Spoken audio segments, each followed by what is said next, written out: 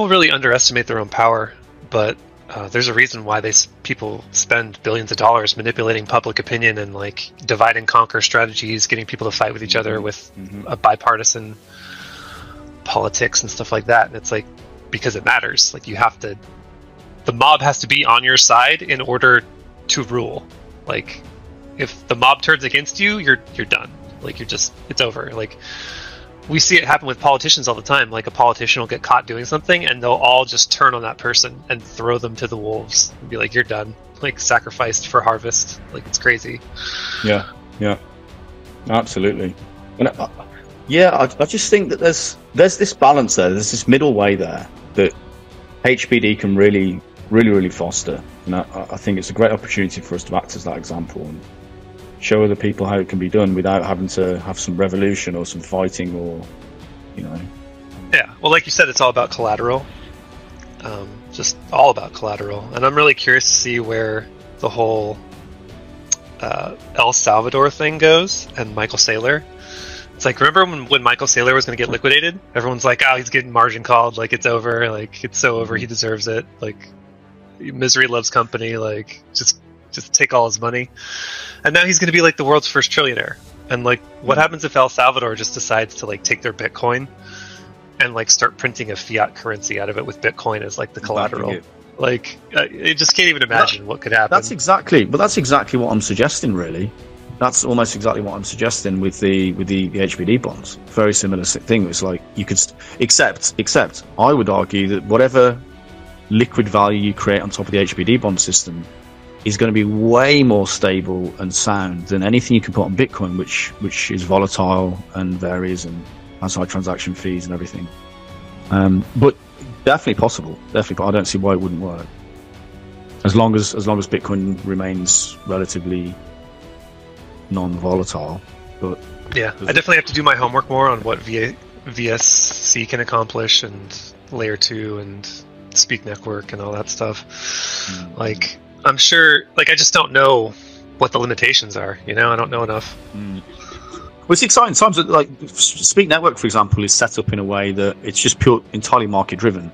So there's multiple facets to SPK Network. One is um, content delivery networks. So you can act as a content delivery network operator and distribute content to your local um, community, or you can act as a an encoder and encode videos through the network, or you can act as a storage node operator.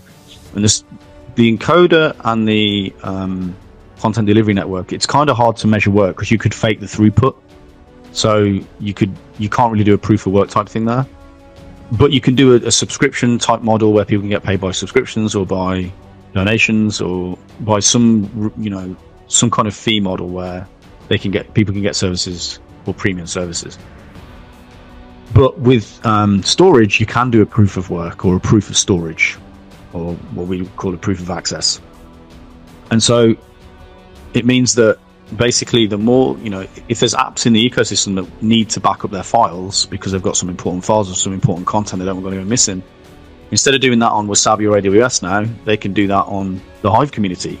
Literally hive community members are using their sp- spare storage drives to store content um, on on behalf of platforms or on behalf of people that want content storing and as long as there's money going into that as long as that's a valuable thing which i think it ultimately is uh, especially for, for video platforms where you do want to have some guarantee that if you get shut down, that, that some of your community's favorite videos are still online, but not on your servers.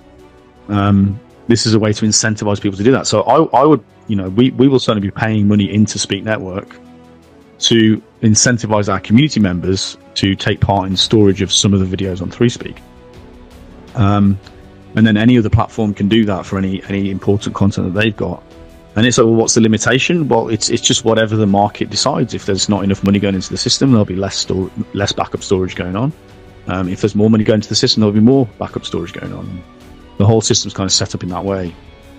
Um, VSC, in terms of limitations, I mean, technically, I don't know. It, it, it, could be huge because it's a layer two. I mean, and it's compartmentalized smart contracts. So each smart contract sets its own fee they have multiple node operators. If they need to scale, they just get more node operators um, because the fees will be there.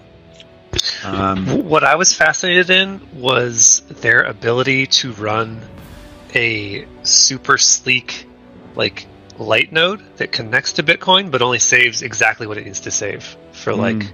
The contracts. That could be used for a lot of things. yeah. Um, like every Bitcoin hash, every 10 minutes on average or whatever, uh, is an unhackable set of infinite random numbers. Which is like, you can use that for a lot of stuff. And no one's using it. No one's Mm. using Bitcoin.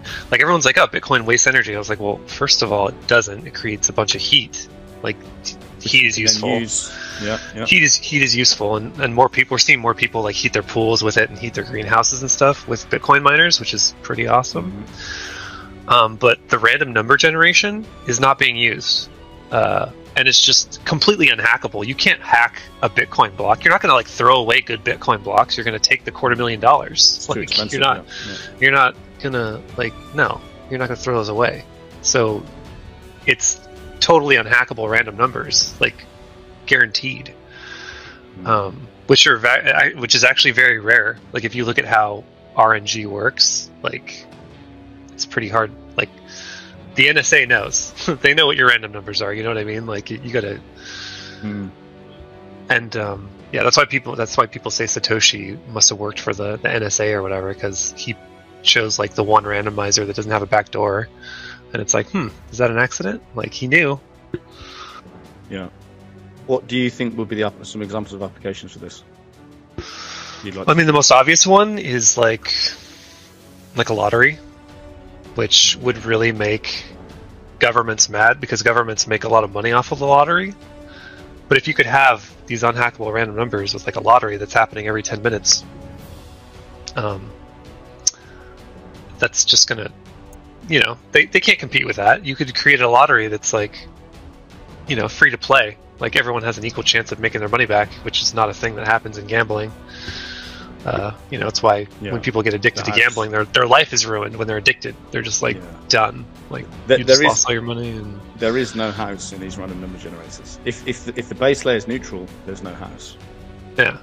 So uh, another thing is gaming. Like we could create an RPG on the blockchain, and for really important RNGs, like say, really like because you know, gaming is going to get to a level, especially with blockchain, where a rare item, someone might be willing to pay like a million dollars for that thing because crypto is insane. You know, like people were spending millions of dollars on crypto on um, you know punks on Ethereum. It's like, of course, if the NFT actually does something and is useful in like a game, they're going to be willing to spend millions of dollars on it. So, um, you could use Bitcoin's RNG to ensure that that could never be hacked. You know, you don't have to use the platform that it's built on. You could use Bitcoin to be like, no, this is too important, so we're going to use an unpackable Bitcoin random number instead of from our network or whatever.